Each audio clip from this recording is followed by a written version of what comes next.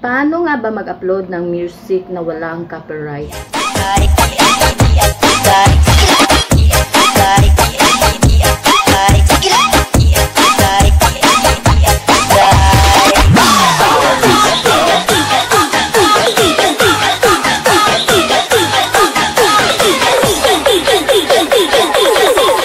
Hey guys, welcome and welcome and welcome back to my channel. Tumama ako sa lamisa. Yun. So, siguro yung iba gusto talaga yung ano no, gusto talaga yung may mga music background, yung mga video.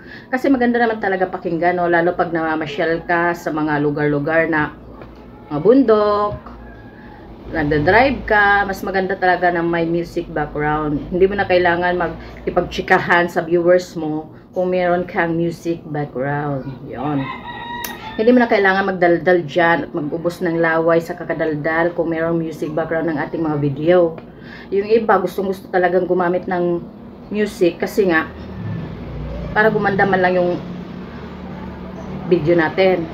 Ako gustong gusto ko rin. So, ang sa akin, meron kasing katulad nung ano, kung vlog nung nakaraan na saan pwedeng kumuha ng no copyright music. Ang sabi ko nga, hindi naman 100% na walang copyright yung mga music doon.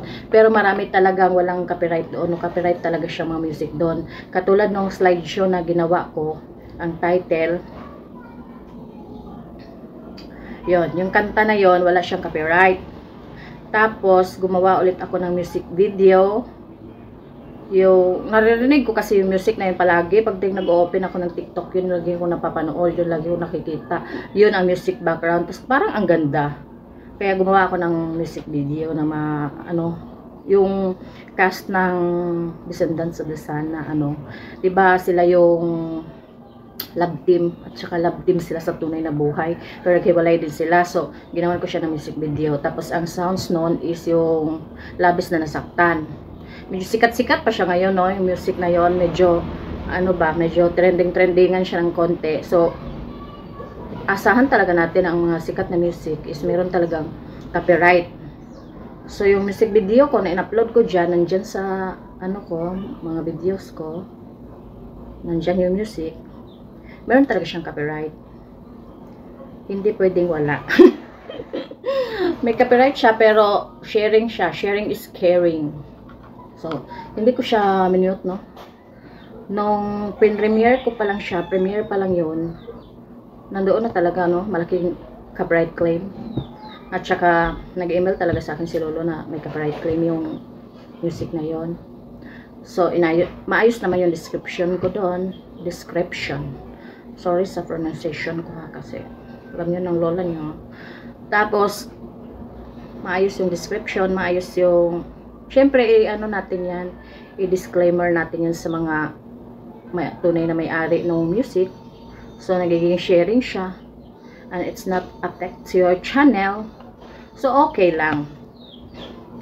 Okay lang na gumamit ng music. Paayos na lang ng description. Dapat proper ang description para hindi tayo mapalo ni Lolo. So, yung music ko na yon katulad ng sabi ko, ulit-ulit na naman ako, unli na naman ako dito, hindi ko siya ni-mute, hindi ko siya tinrim, hindi ko siya, hindi ko ni-remove, hindi ko ni-replace, nandoon pa rin. Kasi, sobrang ganda naman talaga ng music. Tsaka pag sharing kasi, it's not dangerous. Share lang kayo nung 'di ba may ads yung video na yon yung kunyari gagawa ka ng music video may ads siya. So wag mo i-expect na malaki ang kikitain mo doon no? Kasi share ng revenue yung video mo at nung may-ari ng music. Mm. so kumbaga bibigyan ka man ng 50 cents dyan tagta 25 cents kayo ganun. So pag ano pag 'di ba napapansin niyo naman na meron talaga mga channel na music channel yung puro upload ng mga music. Lahat ng 'yan nag-aano lang nag-aano 'yan sa mismong may-ari ng music na disclaimer this music is owned by ganto ganyan. Parang ganoon. So hindi pwedeng walang copyright 'yan. Meron talaga yung copyright. Pero pwede nga talaga mamili ng mga music na walang copyright, no? I-ano nyo na lang muna, i-unlisted nyo muna pag-upload nyo Kasi pag unlisted yan, nakikita nyo naman kung may copyright o wala. So, kung wala siyang copyright, so pwede siya i-public, no? Pero kung meron siyang copyright pagka-upload mo, tapos ayaw mo nang may copyright talaga, i-delete mo. O kaya i-mute mo, replace music sa YouTube library. YouTube library ba yun?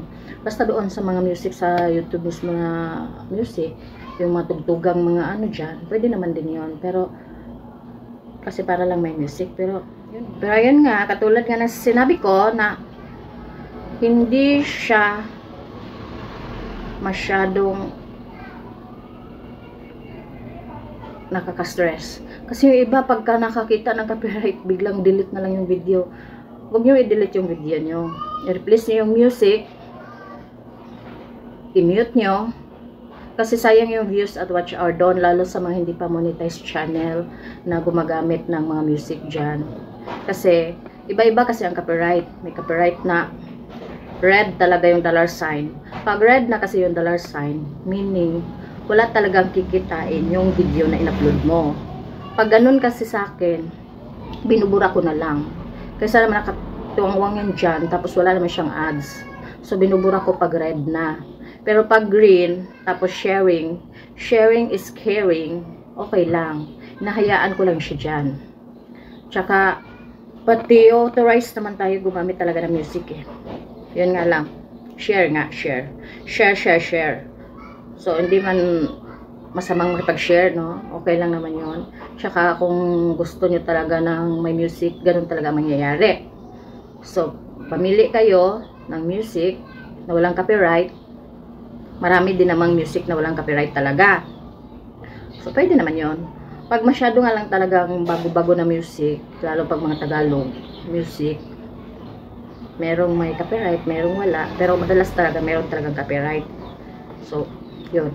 Ayusin nyo lang yung ano, description para hindi ma-remove yung video na yun, no? Tsaka pag nag-edit kayo ng mga mga pictures, mga videos na hindi sa inyo, yun, pakiayos na lang din ng ed edit kasi bawal talaga ang re-upload mga videos ng iba. So, yun lang.